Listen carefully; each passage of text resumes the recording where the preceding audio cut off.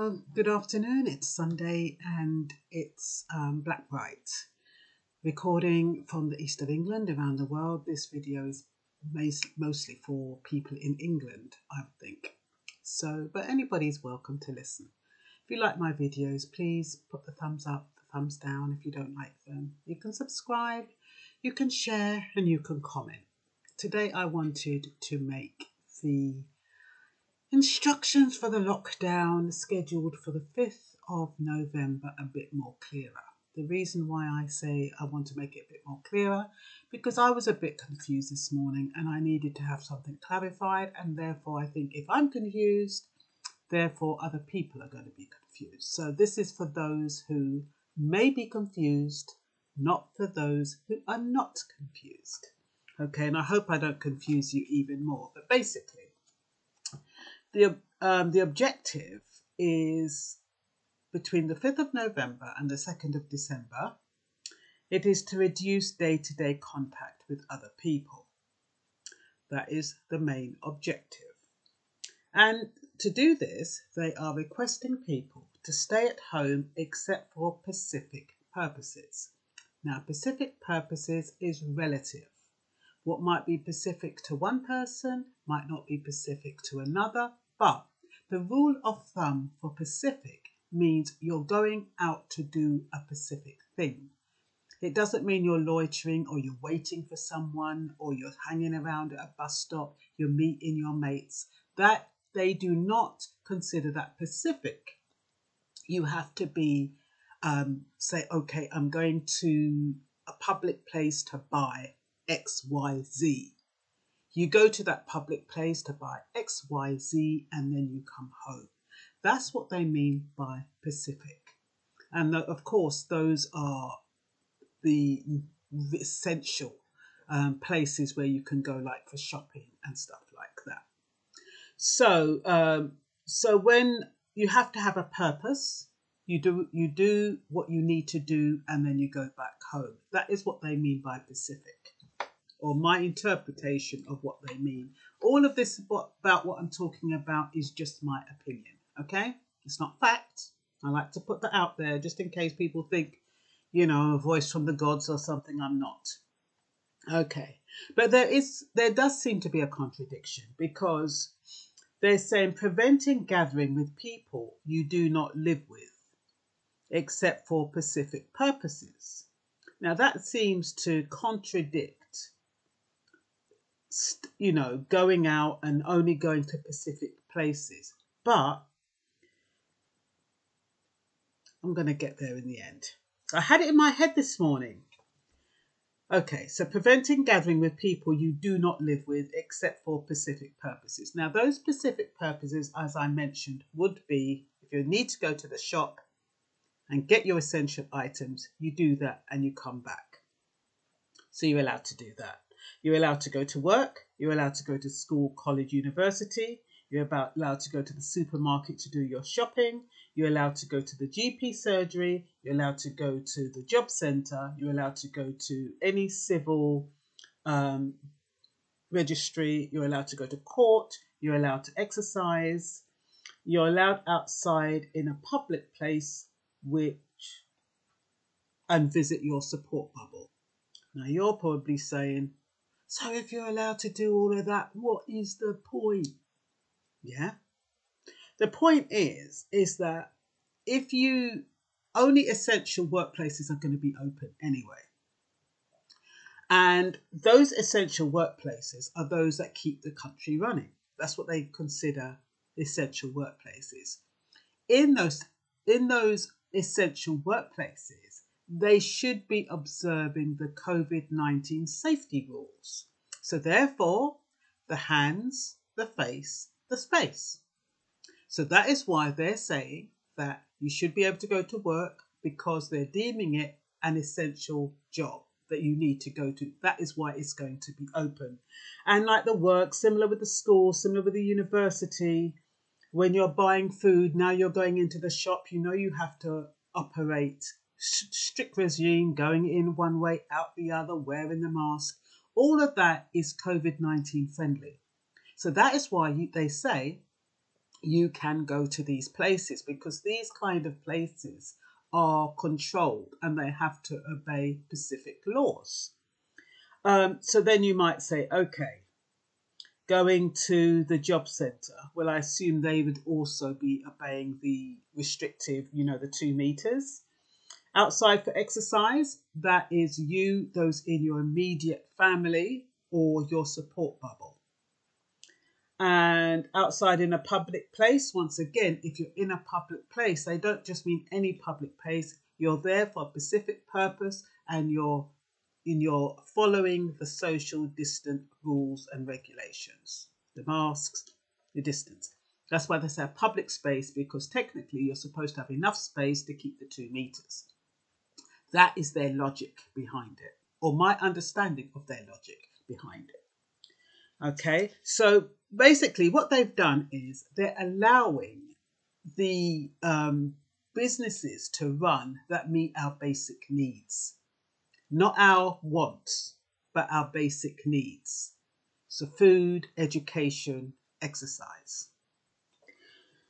Okay, so that's that bit. So, what the government determines as non essential businesses will close effective 5th of November. Relevant authorities and police will have powers to enforce the law on the 5th of November. And you might say, so how are they going to know if I do this? How are they going to know if I go there? How are they going to know who I have in my house? Remember, you've got some resentful people at home those resentful snitches and grassers and snoopers, those people are looking out their windows just waiting for you to make a mistake so they can report you to the police. You don't have to worry about the police. You've got people who are policing you, the community police, and they are more dangerous because they'll be probably taking photographs of you, they're probably telling the people the time, they'll be taking photographs of people coming into your house, leaving your house, and all sorts. So those are the people you need to be wary of, especially if you're in a neighborhood where you do not know everyone. You're not in a close knit neighborhood where you're friends with everyone. So that's how they will know for the most part. I think things like drones and all that kind of stuff will come in afterwards. But now they're relying on community policing. And you've got a lot of people who are sitting at home, who are angry, who are resentful, who want something to do they feel as though they're volunteering, they're doing good for the community. So they're eager to report anybody who violates these rules or who are seen to violate the rules. Okay? So, um, you might ask, why are people allowed to shop? I say, I've done all of that. So, um, focused on specific reasons for leaving home means the time spent outside your home should be minimal. Yes, so if you're going out for a focused and specific reason, that means you go, you do that, come back. That means the time spent outside your house should be minimal. You must not meet socially indoors with family and friends. But there, we're coming up to winter. So who's going to want to meet outside? That's another thing. They're keeping playgrounds open. What's the point of keeping playgrounds open in winter? They're going to be freezing the poor kids. So anyway, so but you can meet what? Well, anyway, I'll, I'll get to that bit. I don't want to kind of override and then I forget things. Okay, support bubbles. That's another question. You might wonder how are authorities going to know who my support bubble is? Well, the, the authorities ain't silly. Number one, you've all been requested to download the COVID 19 Track and Trace app. Now, that is supposed to make sure that wherever you go, you can track and trace know who's in the vicinity, who has um, the virus. Now, you might be saying, Oh, I'm going to leave my phone at home. I'm not going to switch my phone on. I'm going to do this. I'm not going to put my Bluetooth on. They're not going to be able to track and trace me. Now, that is fine if you have your family and you're already in your bubble.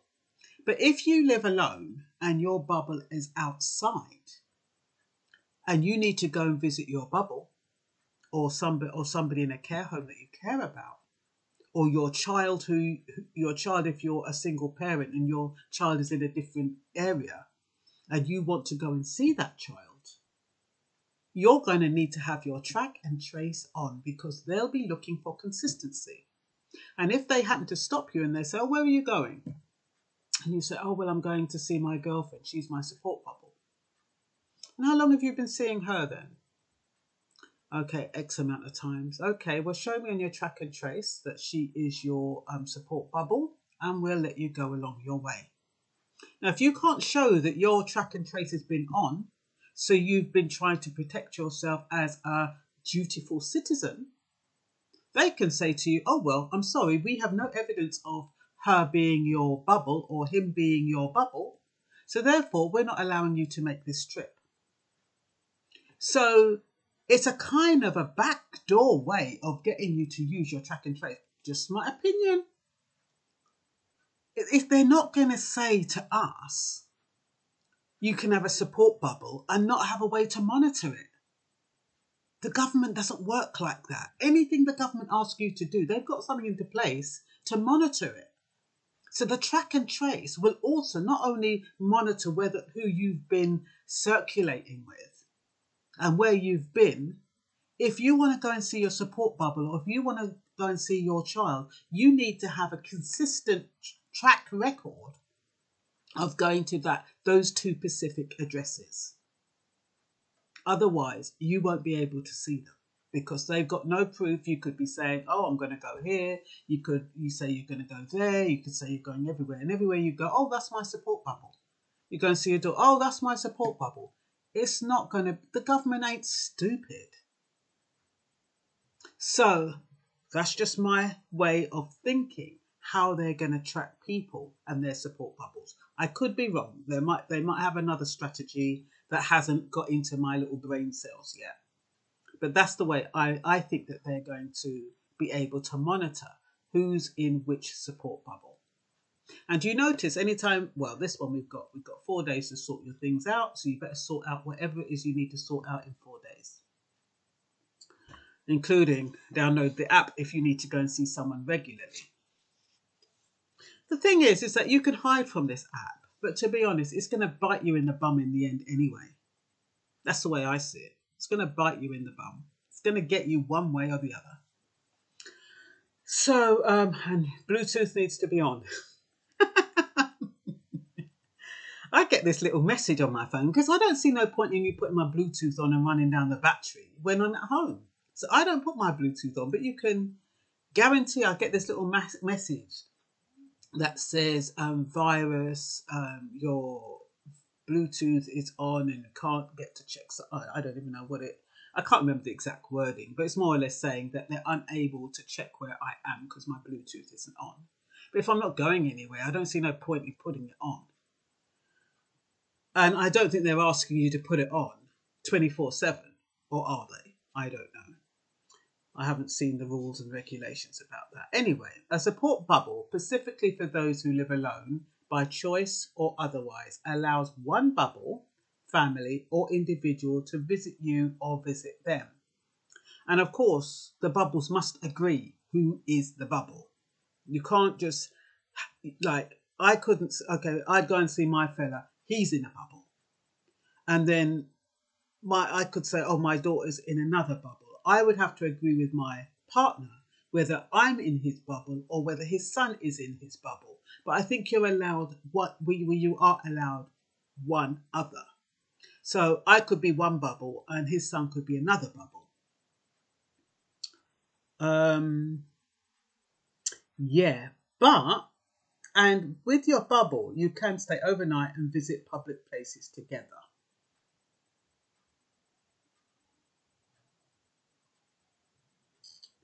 The only exception is where divorce separated parents' children visit. Visitation will be allowed. Once again, track and trace will be proving consistency in your travel. The one thing I thought was interesting is that it does say a support bubble, specifically for those who live alone by choice or otherwise, allows one bubble, family, or individual to visit you, or you visit them. So it's not both. You can't have a bubble and an individual to visit you. It's one or the other. That or is very significant. Details. So, um, so my daughter, who lives in Luton, which is high risk, I live in central Bedford, which is medium risk. It does mean we can meet outside the house, even though she's not in my bubble under tier two. As long as we socially distance, we can exercise together. And you know, you wear your masks and stuff. So that is an example of a tier two um, meeting of family or friends. You can exercise or visit outdoor public places with people you live with, your support bubble, or one person from another household. So my daughter would come under the category of a person from another household. The key word we need to pay attention to is, like I said, all. Does it mean or one of these groups? Are these groups interchangeable or is it on an event by event basis? Because what I'm wondering is, is that you can exercise or, vi- or visit outdoor public places with people you live with. That or it implies you can either do one or the other. You can either exercise or you can visit an outdoor public place. Otherwise, they would they would have said you can exercise and visit outdoor public places with people you live with. Now, when they're saying um, people you live with, your support bubble, or one person from another household, they're not saying people you live with, your support bubble, and one person from another household. So that little or is really significant if, if you are if you get stopped by the police and you're not clear whether it's an or or an and. But the or is quite clear to me that it's either one or the other. And this is as of Thursday. So they need to let us know whether it's interchangeable or whether it's just you can see somebody in your support bubble on one occasion and then you can see a person from another household on another occasion. I said I was going to make it simple, but I think I've complicated it myself, to be honest. But that or means something. So, all non essential retail, leisure facilities, and entertainment and personal care facilities are going to be closed. It's like back to shopping online, but you can't do your hair like hair online, can you? So, um, buy wigs. Good advert.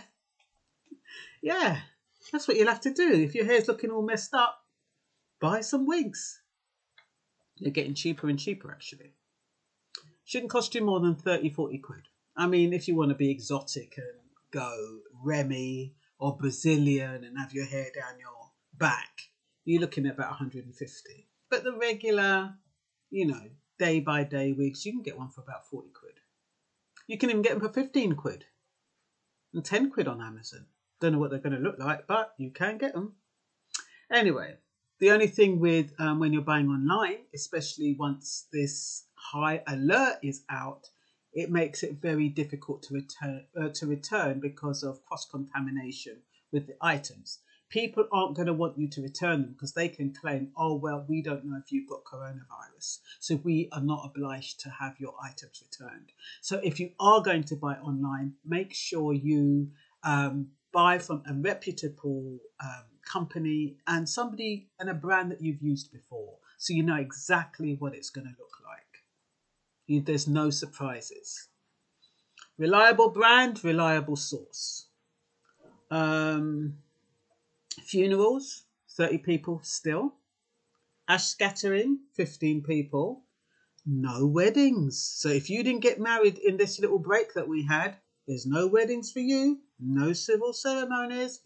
But they do say un- except in exceptional circumstances. I guess an exceptional circumstance would be if you're dying, terminally ill, and your last request is to get married. Maybe they might consider that an exceptional circumstance, but not your willy nilly reason for getting married. So, no weddings.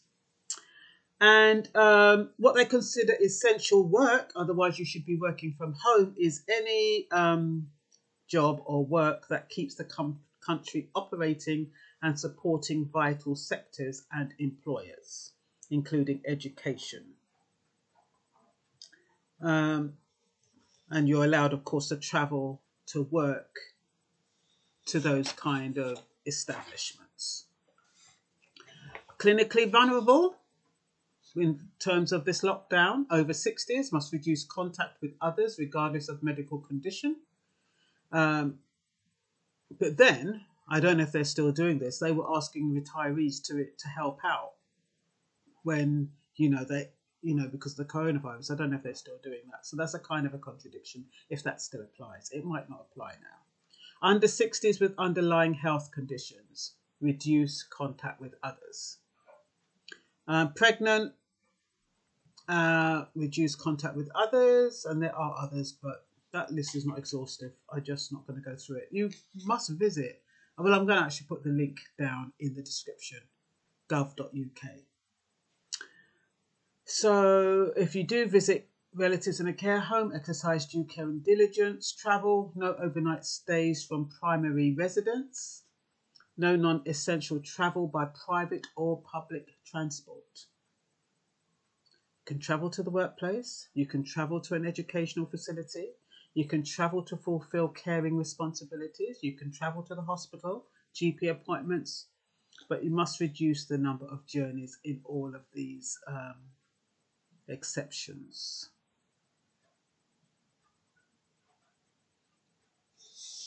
I was just seeing if there was a contradiction in there, but I don't think there is.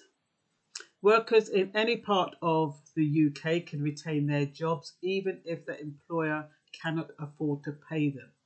And they can be paid at least 80% of their salary and up to 2500 per month. That, well, that stops on the 31st, which was yesterday.